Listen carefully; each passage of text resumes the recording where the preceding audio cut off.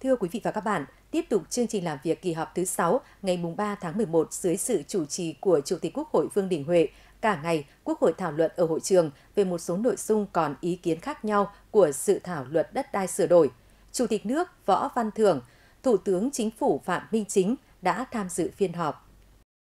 Trước đó, buổi chiều ngày 2 tháng 11, Quốc hội đã tiến hành thảo luận tổ về dự án luật bảo hiểm xã hội sửa đổi. Tại tổ 15, các đại biểu tỉnh Hòa Bình đã có ý kiến xung quanh việc sửa đổi luật bảo hiểm xã hội năm 2014 là cần thiết để đáp ứng yêu cầu thực tiễn – Tuy nhiên, ban soạn thảo và các cơ quan có liên quan cần xem xét tiếp tục nghiên cứu giả soát các quy định dựa trên tính thực tiễn phải có tính dự báo cao nhằm bảo đảm tính khả thi phù hợp thống nhất, đầy đủ của hệ thống pháp luật, tạo điều kiện thuận lợi để người lao động được tham gia và thụ hưởng đầy đủ các chế độ bảo hiểm xã hội.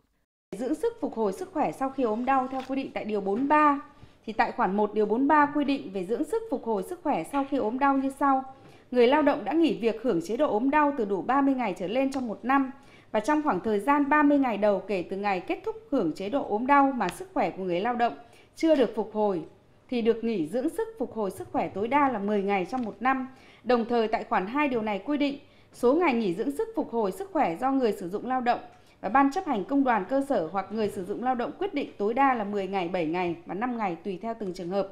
Thì theo tôi thì thực tế thì cái việc quy định giao tổ chức công đoàn và người sử dụng lao động xác định số ngày nghỉ thì nó chưa phù hợp, rất khó cho việc xác định tình trạng sức khỏe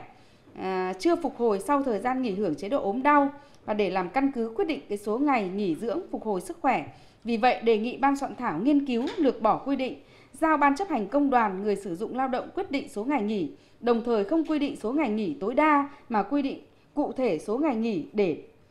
theo từng cái trường hợp cụ thể như vậy thì nó sẽ đảm bảo là à, được cái quyền lợi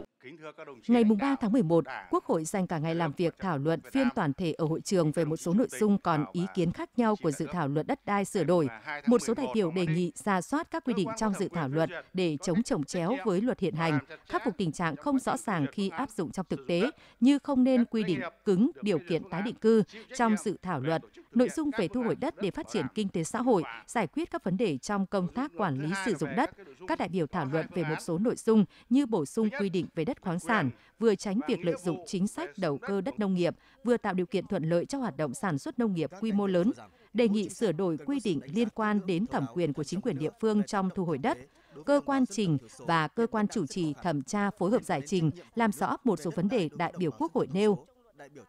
Đối với các nội dung có thiết kế hai phương án, Quốc hội tiếp tục phân tích rõ ưu nhược điểm, tác động của từng phương án, xem xét khách quan toàn diện để lựa chọn phương án tối ưu, đảm bảo chất lượng, tính ổn định, dài hạn của luật này khi được Quốc hội thông qua.